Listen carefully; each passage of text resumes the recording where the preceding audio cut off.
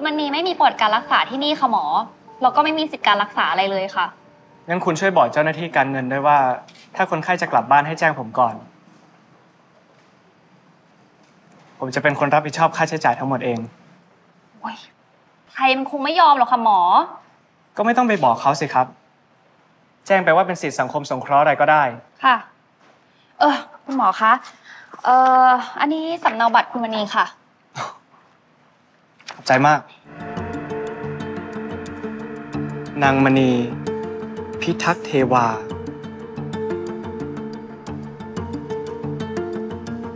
เปลี่ยนชื่อเปลี่ยนนามสกุลใหม่หมดเลย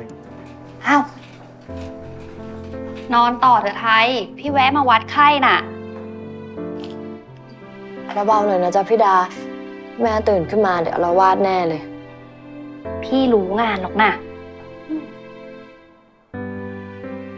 คุณหมออะผสมยาคลายเครียดอ่อนๆไว้ให้ แม่เธอจะได้นอนหลับพักผ่อนนาน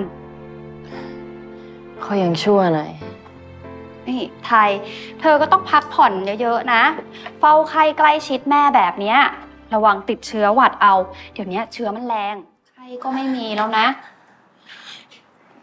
เดี๋ยวน้ำเกลือหมดขวดเนี้ย แม่ก็ฟื้นแล้วแหละ เตรียมตัวไว้ได้เลย แม่สำลี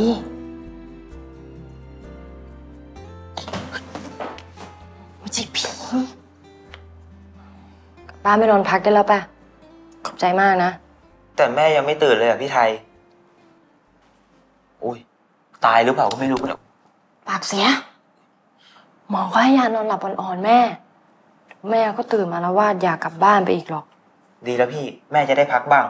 ไม่งั้นนะวอร์ดแตกแน่เลย ได้แม่เดี๋ยวต้องให้หมอเขามาแกะเดี๋ยวมันเจ็ฉับ นบอกแล้วใช่ไหมเนี่ยฉันไม่มาโรงพยาบาลเนี่ยฮะกล้าดียังไงมาขัดคำสั่งฉันปล่แม่อยฉันจะกลับใจบ้านเย็นๆใจเย็นๆก่อนจะกลับบ้านไงเล่าพี่ดา ฉันแม่เลยใช่ไหมพาฉันมา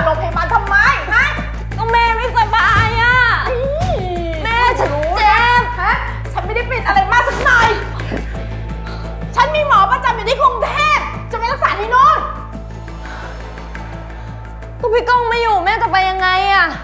ฉันไปเองได้ก็แล้วกันนะแสนไม่เข้าเรื่องเลย ไปเลยนะ ไปจ่ายค่ารักษาพยาบาลให้หมดแล้วก็พาฉันกลับบ้าน